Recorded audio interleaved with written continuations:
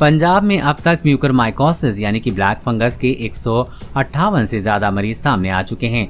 इनमें से 32 मरीज़ ऐसे हैं जिन्हें कोरोना का संक्रमण नहीं हुआ था। इस बात से आम लोगों की चिंता बढ़ गई है, क्योंकि अब तक तो यही माना जा रहा था कि जिन लोगों को कोरोना हुआ था, उन्हें इलाज के दौरान स्टेरॉइड दिया गया था, जिस वजह से उनमें ब्लैक फंगस का संक्रमण फैला था। डॉक्टरों का कहना है कि ये 32 मरीज़ ऐसे हैं जिनमें दूसरी बीमारियों के इलाज के दौरान स्टेरॉइड दिया गया था।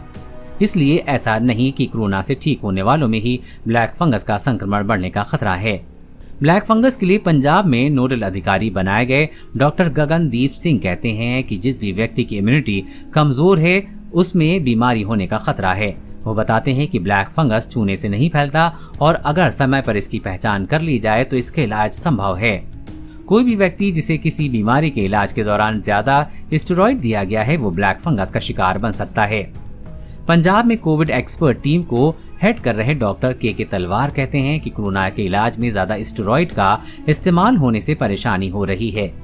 डॉक्टरों को दूसरा विकल्प इस्तेमाल करने को कहा गया है। पंजाब में 19 मई को एपिडेमिक डिसीज एक्ट के तहत म्यूकर माइकोसिस यानी कि ब्लैक फंगस को महामारी घोषित कर दिया गया था।